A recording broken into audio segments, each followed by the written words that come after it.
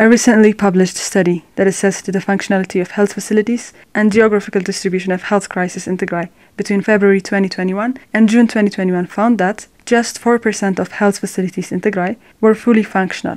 The study assessed all 1,007 health facilities across the state. One of the researchers, Dr. Fasika Amdeslasie, says this has affected Tigray's health system to a degree that many are unable to access healthcare. The study came up with only 4% were fully functional, 96% of the healthcare facilities were not providing service fully. So this, this puts uh, the people at risk of so many types of uh, diseases and illnesses. And on top of that, add siege after June, because this study was conducted from uh, February to June. So already, as you have said, 96% of the healthcare was compromised and almost 70% or more well, almost were not functional or no communication. On top of that, you add uh, siege where nothing came in, no additional uh, medicine came in or no additional thing, uh, no supply came. So you can imagine how compromised the healthcare is in, in Tigray. The study categorized health facilities as fully functional, partially functional, non functional, or no communication based on important indicators, says Dr. Fasika. If a health facility has all the departments running, like uh, emergency services 24 7, if um, there are uh, office or OPD services are available, if the communicable disease departments are available, if the non communicable disease services are available, nutritional screening and reproductive, maternal and child health. All this, if all of them are functional, then we'll um, consider that uh, health facility as uh, functional.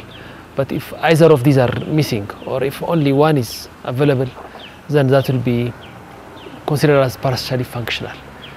But say if the healthcare facility is deserted or if it is destroyed partly or fully uh, then if no, if no one is coming to get service then we'll consider that health facility as uh, non-functional. And lastly in those places where we could not access where we could not go and see um, we consider them as no communication Dr. Fasika also adds that the findings of the study point out that the fully functional health facilities are almost entirely located in urban areas, with health facilities in rural areas sustaining the most significant damage, leading to the near collapse of Tigray's health system. Most of the functional hospitals are found in the city, especially Mekelle city, and then some in Adigrat and Aksum.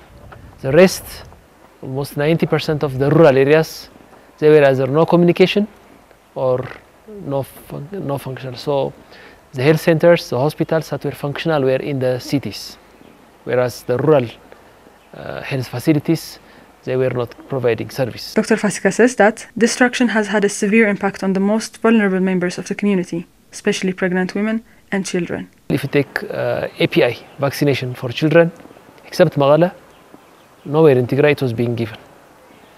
And in most, in, in, in the 84 health centers that, that we labeled non-functional, mothers were not delivering. Were, there was no ANC. They could not come for follow-up. And children, they could not be seen when they, have, when they are sick. Health workers in Tigray, Dr. Fasika says, feel abandoned by the international community that has so far failed to take any serious action to alleviate the suffering in Tigray. I think the world has failed us. Uh, it has failed us uh, because now politics and other things have taken the upper ground, the upper hand, and humanity, healthcare, professionalism, and the like, uh, they are so much neglected and it is costing us a lot of lives. According to the World Health Organization, close to 4 million people in Tigray are in dire need of medical care, many of whom will not be able to access it due to the Ethiopian government's blockade on essentials like medical supplies and food aid.